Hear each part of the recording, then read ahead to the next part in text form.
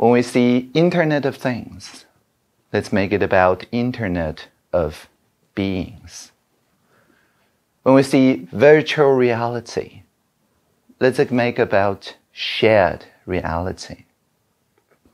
When we see machine learning, let's make it about collaborative learning. When we see user experience, let's make it about human experience. And whenever we hear that the singularity is near, let us always remember the plurality is here. The cyberspace is formed through a formless protocol.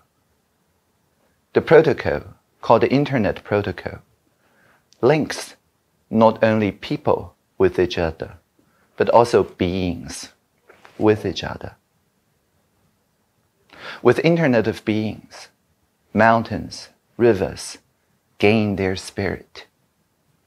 We can see, for example, through natural personhood, the Wanganui River in New Zealand can gain a seat in any ruling constitutions.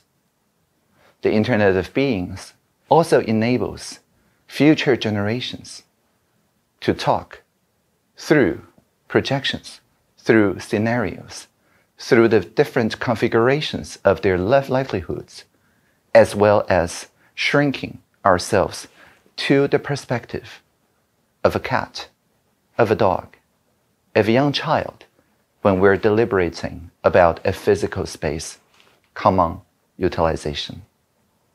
And so I would encourage you to think about the Internet of trees, the Internet of forests, the Internet that links all the living beings together so that we can truly see in a transcultural fashion that there is no single singularity, but rather the Internet of beings brings us plurality.